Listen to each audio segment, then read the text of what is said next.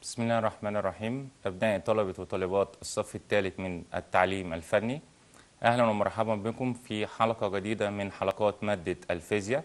تتضمن الحلقة النهاردة مراجعة عامة على ما سبق دراسته. أول سؤال هيقابلنا النهاردة إن شاء الله في المراجعة العامة هو اكتب المصطلح العلمي. السؤال الأولاني اكتب المصطلح العلمي.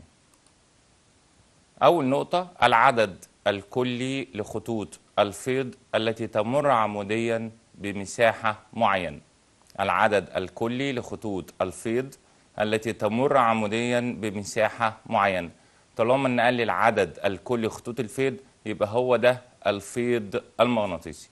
لو ما وجدش كلمة الكلي وقال عدد خطوط الفيض التي تمر عموديا بوحدة المساحات هتبقى كثافة الفيض المغناطيسي.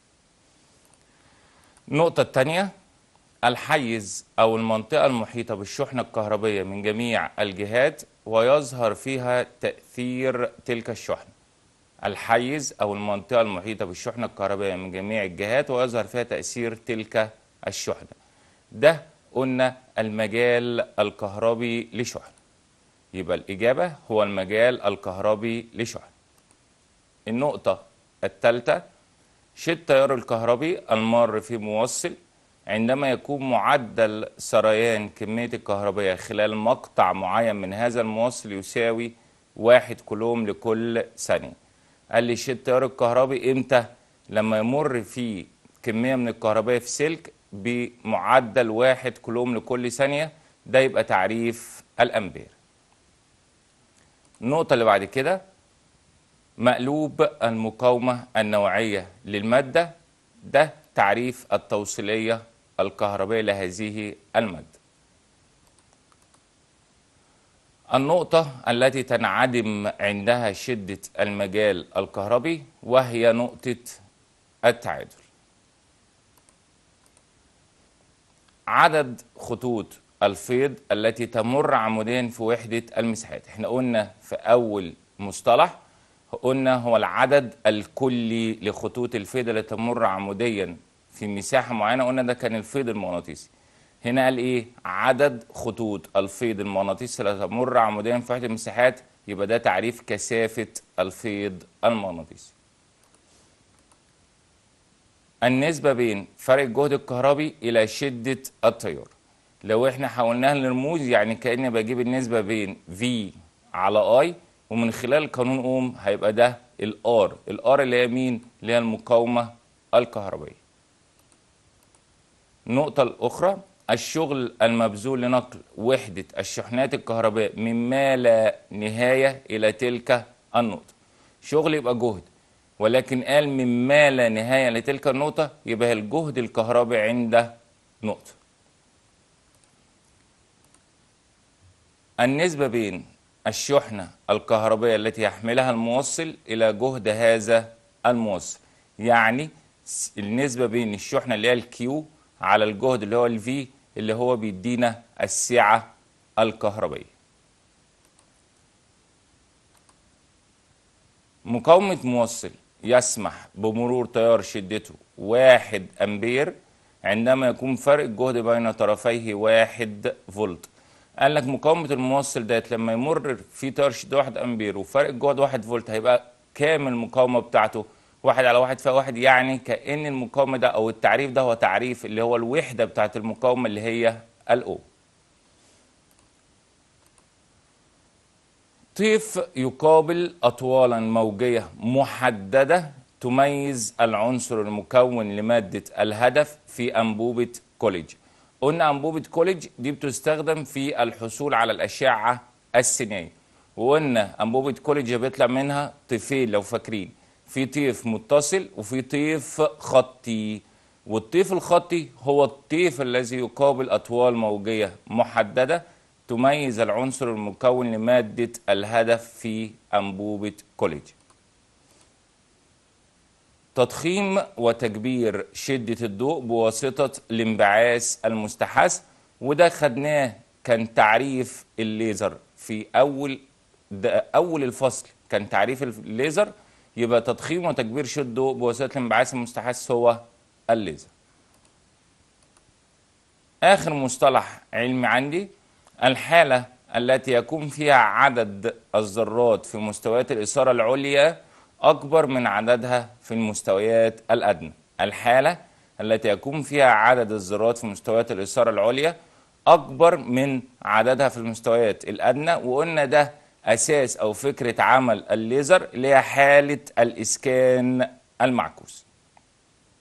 ده كان سؤال المصطلح العلمي. هنخش في السؤال الثاني وهو بعنوان اختر الإجابة الصحيحة من بين الأقواس. رقم واحد تقاس المقاومة النوعية لموصل ب النيوتن ولا الفولت ولا أوم في متر؟ عشان انقي صح بشوف الثلاث إجابات وكل واحدة بتستخدم فيه النيوتن دي بتستخدم في قي... وحدة قياس القوة. الفولت هو وحدة قياس فرق الجهد أو القوة الدافعة الكهربية. أوم في متر هو وحدة قياس المقاومة النوعية. لو قال لي أوم فقط يبقى ده وحدة قياس المقاومة الكهربية. تاني سؤال من أسئلة الاختيار. عندما تقل المسافة بين لوحي مكثف كهربي فإن السعة الكهربية لهذا المكثف تظل ثابتة ولا تقل ولا تزداد. هنا بيقول لما المسافة بين لوحين المكثف هتقل السعة هيحصل لها إيه؟ قلنا من خلال القانون بتاع السعة الكهربية إن في علاقة عكسية ما بين المسافة والسعة الكهربية. يبقى اذا لما المسافة تقل على طول تلقائي يبقى السعة الكهربية عندي هتزداد. السؤال اللي بعد كده. تكون محصلة كثافة الفيض عند نقطة التعادل أكبر ما يمكن ولا أقل ما يمكن ولا صفر؟ عند نقطة التعادل قلنا دي النقطة اللي بينعدم فيها المجال الكهربي. وطالما ان انعدم فيها المجال الكهربي طالما مفيش مجال كهربي يبقى السلك مش هيتولد حوالين منه فيض مغناطيسي يبقى اذا كثافة الفيض عند نقطة التعادل تساوي صفر. الجهاز المستخدم لمعرفة الحالة الكهربية لجسم هو الكشاف الكهربي الأميتر الفولتميتر. قلنا الفولتميتر ده بيستخدم في قياس فرق الجهد أو القوة الدفعة الكهربية. الأميتر بيستخدم في قياس شدة التيار يبقى الإجابة الصحيحة هو الكشاف الكهربي. جميع ما يلي من العوامل التي تتوقف عليها كثافة الفيض المغناطيسي عند نقطة بجوار سلك مستقيم ما عدا يبقى إذا هو في مديني ثلاث عوامل اللي هم طول السلك شد تيار بعد النقطة عن السلك. قال لك دول في منهم العوامل اللي توقف عليها كثافة الفيض عند نقطة بجوار سلك مستقيم. ما عدا في واحدة مش من العوامل اللي هي طول السلك. عند توصيل عدة مقاومات متماثلة عددها N وقيمة كل منها R على التوازي فإن المقاومة الكلية تكون خلي بالي هنا مطلوب على التوالي ولا على التوازي؟ هنا على التوازي. طب إيه الإجابات؟ R N في R ولا R على N طالما إن على التوازي يبقى الإجابة بتاعتي R على N. وحدة قياس كثافة الفيض المغناطيسي. قلنا من شوية في المصطلح إن عندي حاجة اسمها كثافة الفيض المغناطيسي وفي حاجة عندي اسمها الفيض المغناطيسي. وحدة قياس الفيض المغناطيسي أو كثافة الفيض المغناطيسي هل هي الويبر ولا الويبر لكل متر ولا ويبر لكل متر مربع؟ الإجابة الصحيحة هي ويبر لكل متر مربع. أمال الويبر دي بتاعت إيه؟ الويبر دي وحدة قياس الفيض المغناطيسي. عند توصيل عدة مكثفات على التوازي تكون السعة الكلية لهم تساوي سعة أحدهم تساوي مجموع سعاتهم أقل من سعة أحدهم. هنا عايز توصيل عدة مكثفات على التوازي. القانون بيقول سي بتساوي سي 1 زائد سي 2 زائد سي 3 يبقى إذا هي تساوي مجموع سعاتهم مقاومتان كهربيتان لهما نفس القيمة. عند توصيلهم على التوازي كانت المقاومة المكافئة لهما تسعة. فإن قيمة كل مقاومة تساوي. هنا قلنا التوصيل على التوازي. طالما إن الإجابة طالما إن هي توصيل على التوازي وهما مقاومتين قلنا لو كانوا توالي هنجمعهم. تسعة زائد تسعة. يبقى مقاومتين كهربائيتين لهما نفس القيمة. عند توصيلهم مع التوازي كانت المقاومة المكافئة لهما تسعة. فإن قيمة كل مقاومة كذا. قلنا دي المقاومة المكافئة بتسعة. لو كانوا على التوازي على التوالي يبقى الاتنين قد بعض يبقى كل واحدة أربعة ونص. لكن على التوازي الإجابة إيه؟ واحد أو 18 الإجابة 18 قلنا جت منين؟ قلنا إن الآر أو ال- القيمة أو المقاومة المكافئة في حالة توصيل على التوازي حاصل ضرب المقاومتين على مجموعهم فهنلاقيها إن هي بتساوي هنضرب المقاومتين ونقسمهم على مجموعهم هيطلع عندي الناتج ب 18 عند توصيل عدة مقاومات على التوازي في دائرة كهربية فإن شدة التيار الكهربي لما أجي أوصل عدة مقاومات على التوازي قلنا في توصيل مقاومات على التوازي بنحصل على مقاومة مكافأة صغيرة. يبقى إذا المقاومة هتقل لما أوصل مقاومات على التوازي يبقى إذا شدة التيار هتزداد لأن تبعا لقانون أوم اللي هو بيقول في بتساوي الأي في الآر إن شدة التيار والمقاومة بينهم تناسب عكسي. يبقى إذا لما المقاومة هتقل شدة التيار هتزداد. عند تطعيم بلورة السيليكون بالزرنيخ تسمى البلورة. يبقى أنا عندي بلورة سيليكون وهطعمها بالزرنيخ هل هتسمى البلورة عندي بلورة سالبة ولا بلورة موجبة ولا بلورة الجرمانيوم؟ قلنا بلورة الجرمانيوم لو كنت أنا مستخدم الجرمانيوم في التركيب بتاعي لكن ما فيش جرمانيوم دي لا تصلح. قلنا عندي بلورة سالبة أو بلورة موجبة قلنا البلورة عندي هي سيليكون يا إما هطعمه بزرنيخ أو جاليوم. قلنا لو جاليوم قلنا هتسمى بلورة موجبة لكن لما أجي أطعم السيليكون بالزرنيخ هتسمى بلورة سالب السؤال اللي بعد كده تتميز أشعة الليزر بالشدة وهذا يعني أن فوتوناتها مترابطة ولا لا تخضع لقانون التربية العكسي ولا ذات طول موجي واحد.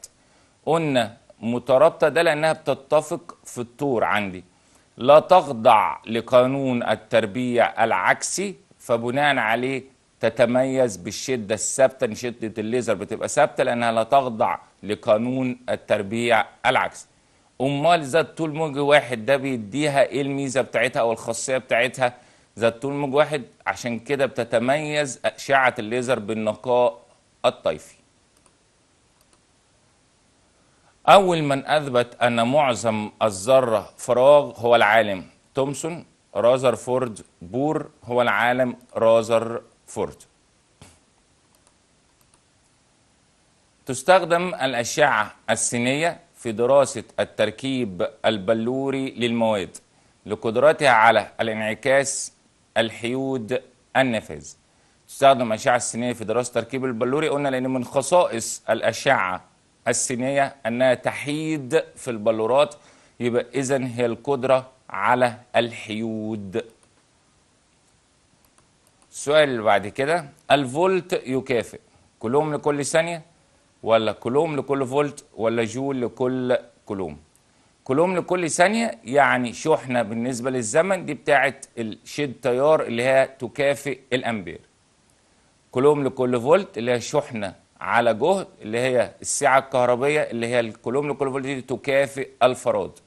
يبقى الإجابة الصحيحة اللي عندي جول لكل كولوم لأن إحنا قلنا الفولت هو الشغل المبذول لنقل شحنة كهربائية مقدارها واحد كولوم. يبقى إذا هو شغل اللي هو الجول على الشحنة اللي هي الكولوم يبقى جول لكل كولوم يبقى إذا الفولت يكافئ جول لكل كولوم. خطوط الفيض المغناطيسي داخل ملف حلزوني تكون دائرية عمودية على محوره ولا موازية لمحوره؟ خطوط الفيض المغناطيسي داخل ملف حلزوني. قلنا نخلي بالنا إن خطوط الفيض دي في حالة السلك بتختلف عن الملف الدائري عن الملف الحلزوني. ولكنها في حالة الملف الحلزوني فهي موازية لمحوره.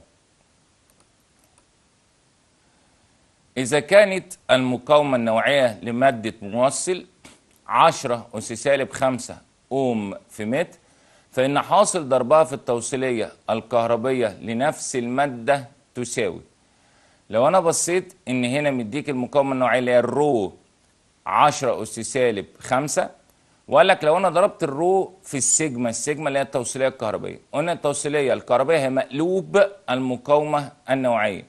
يعني إيه مقلوب المقاومة النوعية؟ يعني لو المقاومة النوعية 10 اس سالب 5 يبقى التوصيلية 10 اس 5 لو ضربتهم في بعض هيطلع معايا الناتج 10 اس صفر اللي هو يساوي واحد.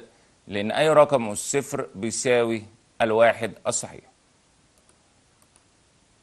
السؤال الثالث. قارن بين كل مما يأتي. أول مقارنة عندي التوصيلية الكهربية والمقاومة النوعية من حيث وحدة قياس كل منهم. المقاومة النوعية وحدتها أوم في متر. التوصيلية الكهربية وحدتها أوم أس سالب واحد في متر أس سالب واحد.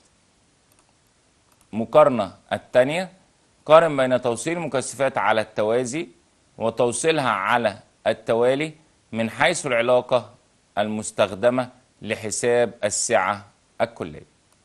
في حالة التوصيل على التوازي القانون اللي عندي بيقول C بتساوي C1 زائد C2 زائد زي C3 في حالة التوصيل على التوالي القانون اللي عندي بيقول واحد على C تساوي واحد على C واحد زائد واحد على C اتنين زائد واحد على C تلاتة.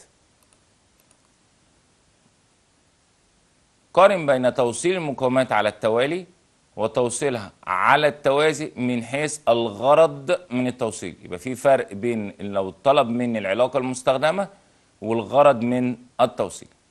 الغرض من التوصيل في توصيل المقاومات على التوالي الحصول على مقاومة كبيرة من مجموعة من المقاومات الصغيرة. الغرض من التوصيل المقاومات على التوازي العكس الحصول على مقاومة صغيرة من مجموعة من المقاومات الكبيرة. قارن بين الأميتر والفولتميتر من حيث الاستخدام. الأميتر بيستخدم في قياس شدة التيار. الفولتميتر بيستخدم في قياس فرق الجهد بين نقطتين والقوة الدافعة الكهربية لعمود كهربي. الليزر والضوء العادي من حيث نوع الانبعاث. الليزر الانبعاث المستخدم هو الانبعاث المستحث الضوء العادي الانبعاث المستخدم هو الانبعاث التلقائي. البوابة نند والبوابة أور من حيث شرط أن يكون الخرج يساوي واحد. البوابة نند عندي قلنا بيبقى لها مدخلان ومخرج واحد يعني لها مدخلين ومخرج واحد. عشان المخرج يكون بواحد لابد أن تكون قيمة أحد المدخلين على الأقل يساوي صفر. يعني لو عندي المدخلين صفر وصفر هتدي واحد. لو عندي واحد وصفر هتدي واحد. لو صفر وواحد برضه هتدي واحد. لازم يكون أحد المدخلين على الأقل يساوي صفر. العكس في الأور. الأور قلنا لها مدخلين أو أكثر ومخرج واحد. طب لكي يكون الخارج بيساوي واحد أعمل إيه؟ لابد أن تكون قيمة أحد المدخلين على الأقل يساوي واحد. طب أنا قلت ليه العكس؟ لأن إحنا عندي قلنا الدوائر المنطقية أو الإلكترونية بنشتغل على قيمتين فقط هي الصفر والواحد. قلنا في بوابة أور لابد أن تكون قيمة أحد المدخلين على الأقل يساوي واحد. يعني لو واحد وواحد هيدينا واحد لو واحد وصفر هيدينا واحد لو صفر وواحد برضه هيدينا واحد. مقارنة الأخرى الأجهزة التناظرية والأجهزة الرقمية من حيث الأساس العلمي. الأجهزة التناظرية أو فكرة العمل بتاعتها والأساس العلمي تتعامل مع الكميات الطبيعية وتحولها لإشارات كهربية متصلة. لكن الأجهزة الرقمية دي بتتعامل مع قيمتين فقط اللي هما الصفر والواحد. المقارنة بين بلورة شبه الموصل الغير نقية والنقية من حيث التوصيلية الكهربائية لكل منهم. بلورة شبه الموصل غير نقية هي دايما أفضل في التوصيل الكهربائي من البلورة النقية يبقى أكبر توصيلية كهربائية من شبه الموصل النقي. شبه الموصل أو بلورة شبه الموصل النقي في درجة الصفر بيبقى عازل صفر مطلق عازلة تماما. في درجة الحرارة العادية فهي رديئة التوصيل بتزداد درجة التوصيلية الكهربائية ليها بارتفاع درجة الحرارة.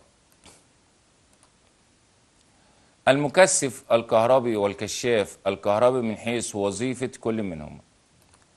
المكثف الكهربي قلنا بيستخدم في تخزين الشحنات الكهربائية لاستخدامها عند الحاجة إليها. الكشاف الكهربي يستخدم في التعرف على الحالة الكهربائية لجسم والتعرف على نوع الشحنة الكهربائية الموجودة على الجسم.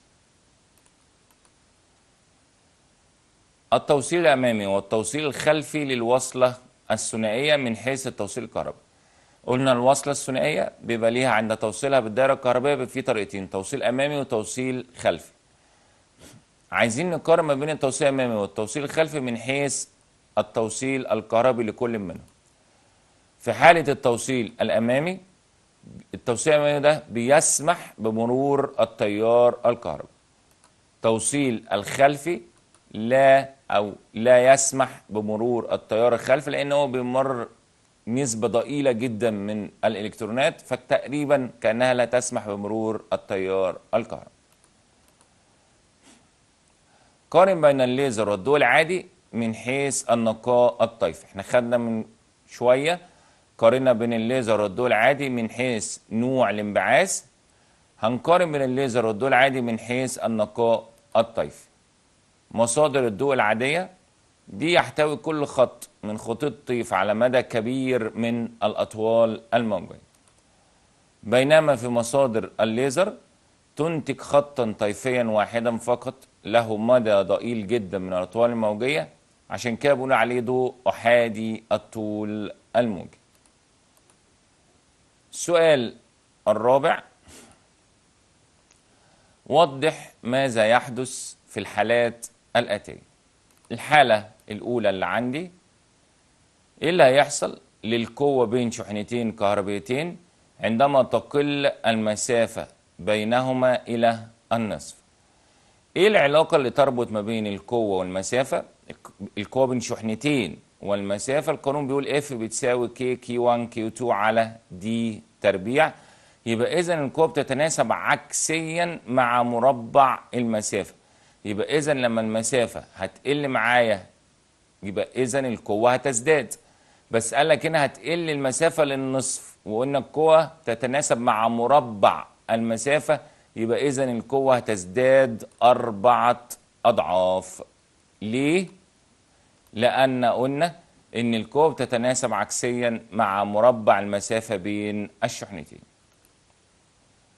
الحالة الثانية إيه اللي هيحصل عند تقريب ساق مشحونة بشحنة سالبة من قرص كشاف كهربي خالي من الشحنات أنا عندي الكشاف ما فيهوش شحنات وقربت له منه ساق مشحونة بشحنة سالبة هلاقي إن الشحنة دي هتنتقل من خلال القرص الكهر... القرص المعدني إلى الساق المعدني إلى الورقتين الذهبيتين اللي هيحملوا نفس نوع الشحنة اللي هي الشحنة السالبة فيحدث بينهما تنافر فتنفرج ورقتي الكشاف الكهربي الحالة الثالثة زيادة طول موصل إلى الضعف مع إنقاص مساحة مقطعه إلى النصف على المقاومة الكهربية للموصل يبقى إذا أنا عندي موصل أو سلك هغير فيه حاجتين هزود طوله إلى الضعف وهقلل مساحة مقطعه إلى النصف إيه اللي هيحصل في المقاومة الكهربية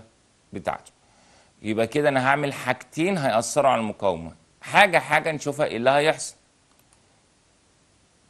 تزداد قيمة المقاومة الكهربية للسلك ده أربع أضعاف. طب ليه هتزداد أربع أضعاف؟ أولا زيادة طول الموصل إلى الضعف هيعمل على زيادة المقاومة الكهربائية للضعف لأن بينهما تناسب طردي يبقى إذا زيادة الطول للضعف هتخلي المقاومة برضه هتزيد للضعف. الحاجة التانية إحنا قلنا هيحصل حاجتين. الحاجة التانية انقاص مساحة مقطع الموصل إلى النصف هيعمل على زيادة المقاومة الكهربائية للضعف لأن بينهما تناسب عكسي. يبقى هنا زاد للضعف نتيجة زيادة طول الموصل وزاد للضعف مرة أخرى نتيجة إنقاص مساحة المقطع إلى النصف فنلاقي إن هي المقاومة هتزداد أربع أضعاف. الحالة الرابعة وضعت إبرة مغناطيسية أسفل سلك يحمل تيار كهربي قلت لو أنا وضعت إبرة مغناطيسية تحت سلك يحمل تيار كهربي هلاقي إن الإبرة ديت هتنحرف وقلنا أو هتتحرك نتيجة لتولد مجال مغناطيسي حول السلك الذي يمر فيه التيار الكهربي. يبقى تنحرف الإبرة المغناطيسية دليلا على تولد مجال مغناطيسي حول السلك الذي يمر فيه التيار الكهربي. الحالة الأخرى إيه اللي هيحصل عند دلك ساق من الزجاج بقطعة من الحرير؟ ساق الزجاجة وقطعة الحرير في البداية هما متعادلين الشحنة لما نيجي نعمل دلك لساق الزجاج بقطعة من الحرير أحد المادتين هيفقد والآخر هيكتسب. فلاقي إن ساق الزجاج دوت بيفقد إلكترونات ويصبح موجب الشحنة وقطعة الحرير بتكتسب إلكترونات وتصبح سالبة الشحنة يبقى تنتقل الإلكترونات من ساق الزجاج إلى قطعة الحرير فتتولد على ساق الزجاج شحنة موجبة. وتتولد على قطعة الحرير شحنة سالبة. زيادة المسافة بين لوحي المكثف عندما تزداد المسافة بين لوحي المكثف هتقل السعة الكهربية لأن بينهما تناسب عكسي. الحالة اللي بعد كده الطاقة المختزنة في المكثف عندما تقل سعة المكثف للنصف. عندما تقل سعة المكثف للنصف هلاقي برضو الطاقة المختزنة في المكثف هتقل للنصف ليه؟ لأن الطاقة المختزنة في المكثف تتناسب طرديا مع سعة المكثف لأن عندي الطاقة المختزنة بتقول الإي بتساوي السي في تربيع يبقى إذا بينهما تناسب طردي. عند توصيل عدة مقاومات على التوالي على قمة شيء التيار الكهربي المار في الدايرة. يعني إيه اللي هيحصل لما أوصل عدة مقاومات على التوالي؟ شيء التيار اللي هيمر في الدايرة دي هيحصل لها إيه؟ قلت لما أجي أوصل عدة مقاومات على التوالي المقاومة الكلية أو المقاومة المكافئة هتزداد فشد التيار الكهربي يقل لأن بينهما تناسب عكسي فهكتب إيه؟ هكتب إن شد التيار الكهربي تقل قيمته يبقى تقل قيمة شد التيار الكهربي المر في الدايرة ليه؟ لأن عند توصيل عدة مقاومات كهربية على التوالي نحصل على مقاومة مكافئة كبيرة شدة التيار الكهربي تتناسب عكسيا مع المقاومة المكافئة الناتجة الكبيرة ديت فهيقل شدة التيار الكهربي. السؤال الخامس وهو المسائل.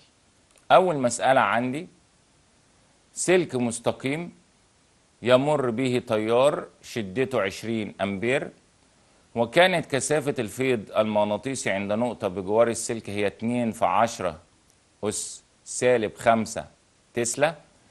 احسب بعد النقطة عن هذا السلك علما بأن ال mu بتساوي 4 pi في 10 أس سالب 7 ويبر على أمبير في متر. مديني سلك بيمر فيه تيار شدته 20 أمبير يعني ال I عندي بتساوي 20 أمبير. كثافة الفيض المغناطيسي عند نقطة بجوار السلك الكثافة الفيض اللي هي ال B بتساوي 2 في 10 أس سالب 5 تسلا عايز بعد النقطة عن السلك اللي هي ال D ومديني ال mu 4 pi في 10 أس سالب 7 طيب هنحلها إزاي؟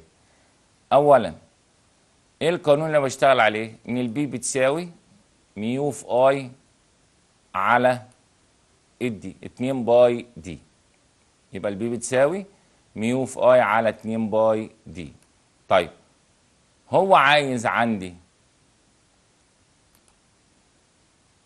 ال I يبقى 2 pi في B D بتساوي mu في I طيب أنا عايز ال D فهاخد الجزء اللي مع ال D اللي هو 2 pi B وأوديه الناحية الثانية يروح في المقام يبقى ال D بتساوي mu في I على 2 pi B.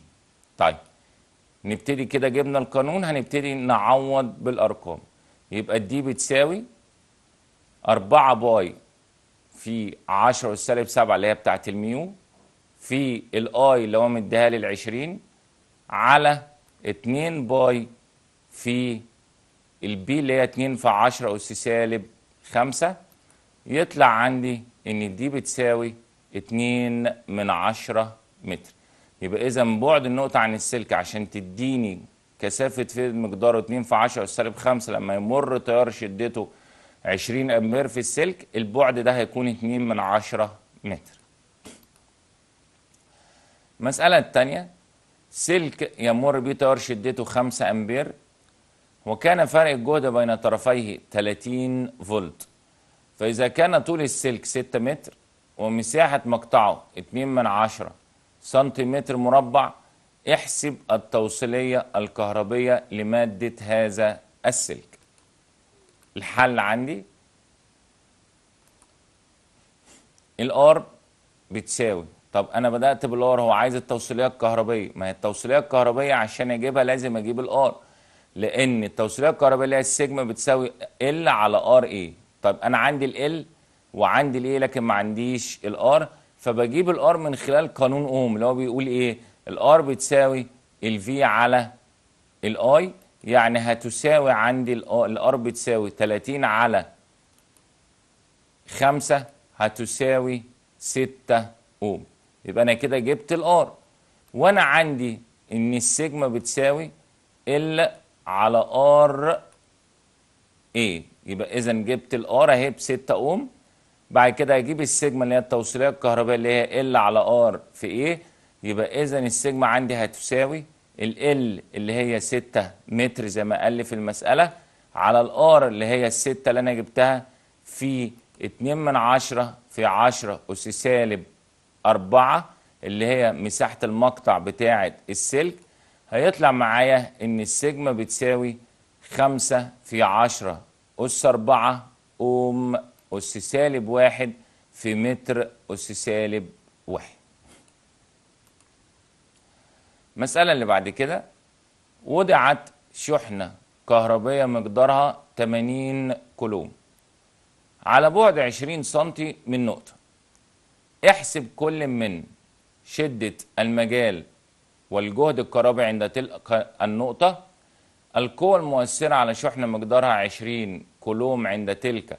النقطة علما بأن ال K تساوي 9 في 10 أس 9 نيوتن متر تربيع لكل كولوم تربيع. وضعت شحنة كهربية اللي هي ال Q وهنا عندي ال Q بتساوي 80 كولوم على بعد 20 سم اللي هي ال D يعني ال D عندي 20 سم وخلي بالي هنا ال D بالسنتي لازم أحولها لمتر يعني هقسم على 100 يبقى 20 على 100 يعني 2 من 10 احسب كل من شدة المجال اللي هو رمزه E والجهد الكهربي اللي هو رمزه V أدي أول مطلوب أو أول مطلوبين في الجزء الأول. ثم مطلوب تاني القوة المؤثرة اللي هي ال F على شحنة أخرى مقدارها 20 كولوم يعني عندي Q 2 ب 20 كولوم ومديني ال K اللي هو ثابت كولوم 9 في 10 اس 9 نيوتن متر تربيع لكل كولوم تربيع. هبدأ الأول أجيب المطلوب الأولاني اللي هو شدة المجال الكهربي اللي هو ال E قلنا ال E بتساوي K في Q على D تربيع.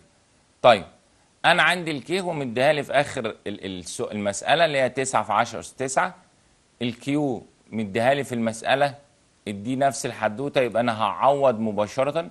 فأقول إن ال E بتساوي 9 في 10 اس 9 اللي هي قيمة ال K في ال 80 اللي هي قيمة ال Q على ال D اللي هي 2 من 10 تربيع. وقلنا 2 من 10 ليه؟ لأن هو مديها 20 سم هقسم على 100 تبقى 2 من 10 يطلع عندي ان ال E بتساوي 18 في 10 اس 12 نيوتن لكل كولوم.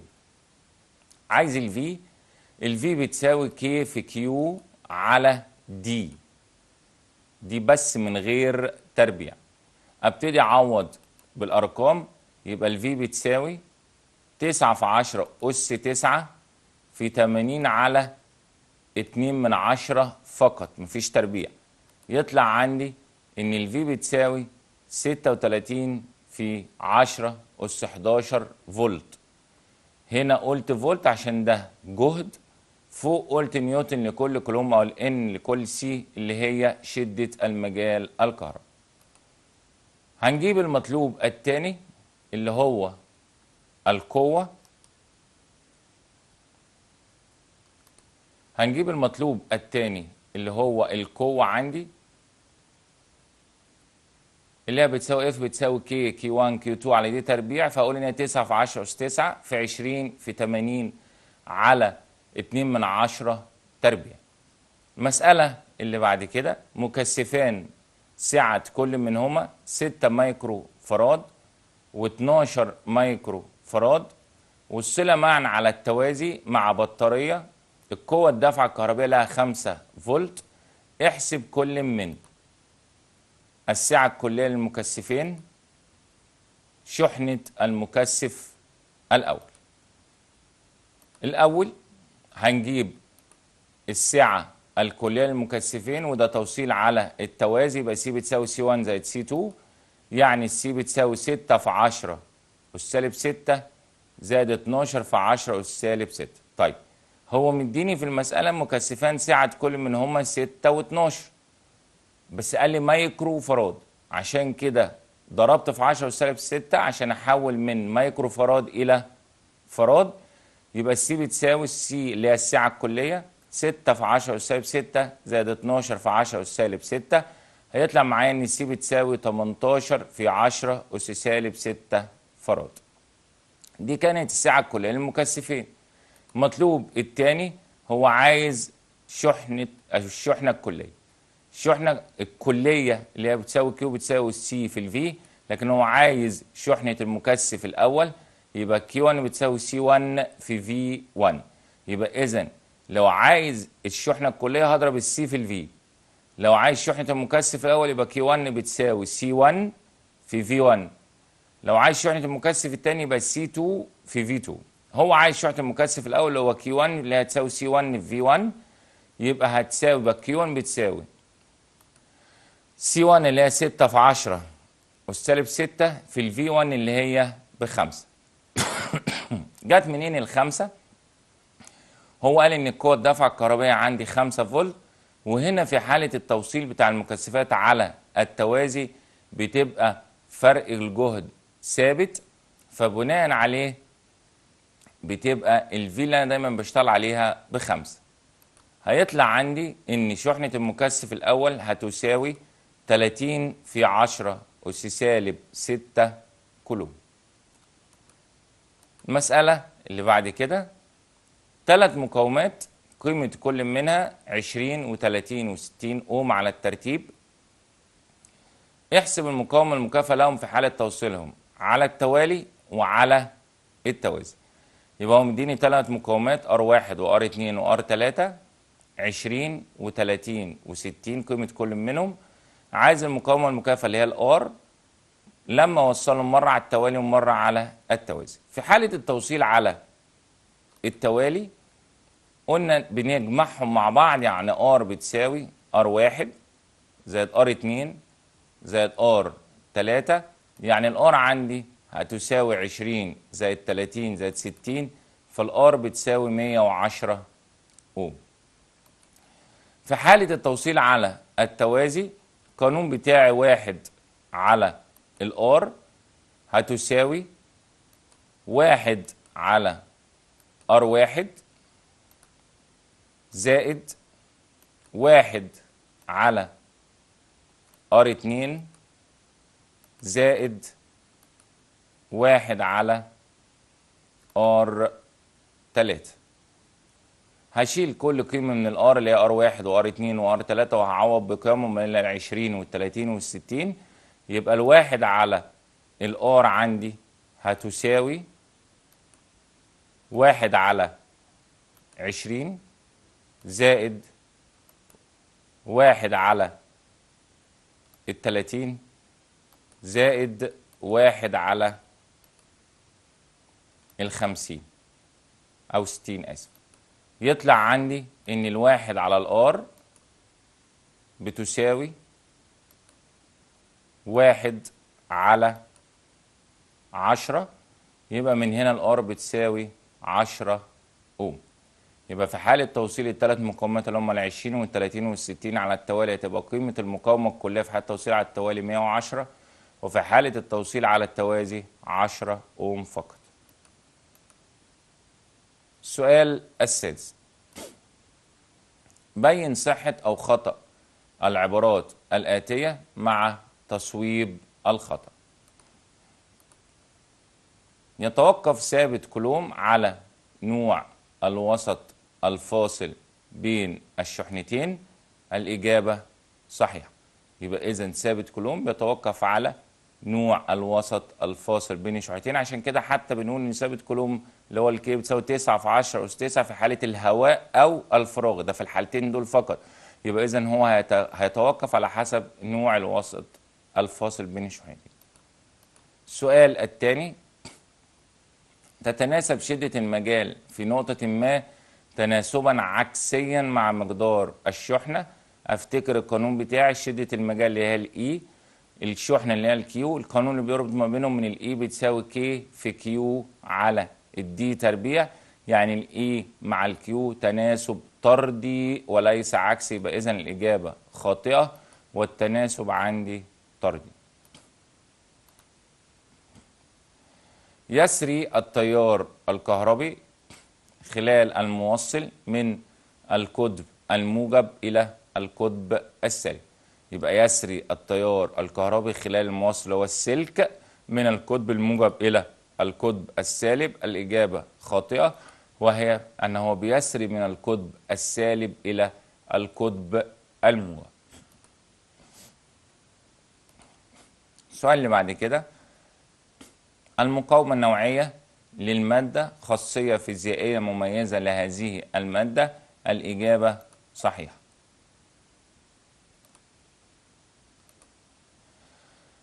كثافة الفيض المغناطيسي الناشئ عن مرور تيار كهربي في ملف دائري يتناسب طرديا مع عدد لفات الملف. أبص على القانون اللي بيربط بين كثافة الفيض المغناطيسي مع مرور تيار كهربي اللي هو التيار الكهربي وقلنا كثافة الفيض ده في ملف دائري. يبقى اذا إحنا قلنا كثافة الفيض ممكن تبقى في سلك مستقيم ممكن تبقى في ملف دائري ممكن تبقى في ملف حلزوني لازم أجيب القانون بتاع كل منهم أشوف الحالة اللي عندي اللي هي في ملف دائري إن عندي البي بتساوي mu على 2 في N في I على R هل بقى كثافة الفيض اللي هي ال B هتتناسب طرديا مع عدد لفات الملف؟ طب عدد لفات الملف اللي هي رمزها إيه؟ ال N وقلنا القانون تاني يبقى أنا عايز العلاقه بين كثافة الفيض اللي هي ال B مع عدد لفات الملف اللي هي ال N القانون بيقول إن ال B بتساوي mu على 2 في N في I على R يبقى اذا كثافة الفيض فعلا تتناسب طرديا مع عدد لفات الملف. طيب لو جه قال لي غير في السؤال قال لك كثافة الفيض مع نصف قطر الملف. لو مع نصف قطر الملف هيبقى الإجابة خاطئة لأن كثافة الفيض بتتناسب عكسيا مع نصف قطر الملف. طب لو مع قال مع شد تيار فعلا تناسب طردي يبقى اذا كثافة الفيض اللي هي بتتناسب طرديا مع شد تيار مع عدد لفات الملف ولكن تتناسب عكسيا مع نصف قطر الملف. السؤال اللي بعد كده لا يصدر الإلكترون لا يصدر الإلكترون إشعاع طالما كان يتحرك في مستوى الطاقة الخاص به. الإجابة صحيحة لأن إحنا قلنا عشان يحدث إشعاع أو عشان ينطلق طاقة أو فوتونات لابد إن الإلكترون بينتقل من مستوى طاقة أعلى إلى مستوى طاقة أقل وقلنا دي فكرة عمل أو نظرية عمل الليزر. نواة الذرة عند بور سالبة الشحنة الإجابة خاطئة. نواة الذرة عند بور هي موجبة الشحنة.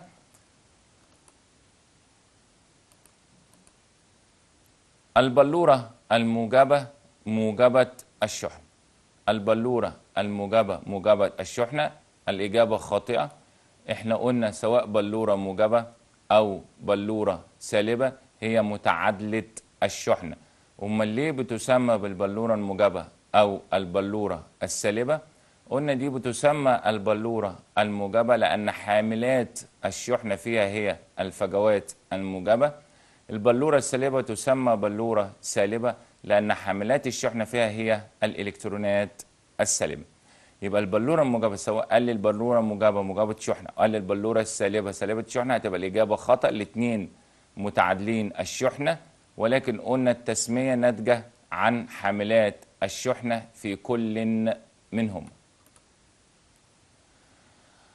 الفوتون المنبعث في الإشعاع التلقائي إحنا بنقول هنا بنوضح الإجابة الصحيحة أو الخاطئة مع تصحيح الخطأ. الفوتون المنبعث في الإشعاع التلقائي له نفس تردد الفوتون الذي سبب الإثارة. يبقى تاني الفوتون المنبعث في الإشعاع التلقائي لو قلنا في عندي نوعين من الإشعاع والانبعاث في انبعاث تلقائي وفي انبعاث مستحث الفوتون المنبعث في الانبعاث أو الاشعاع التلقائي له نفس تردد الفوتون اللي سبب الإثارة الاجابه صحيحة لأن الاثنين بيبقى ليهم نفس التردد سواء يعني الفوتون المنبعث والفوتون اللي سبب الإثارة الاثنين سواء في الانبعاث التلقائي والانبعاث المستحث بيبقى ليهم نفس التردد.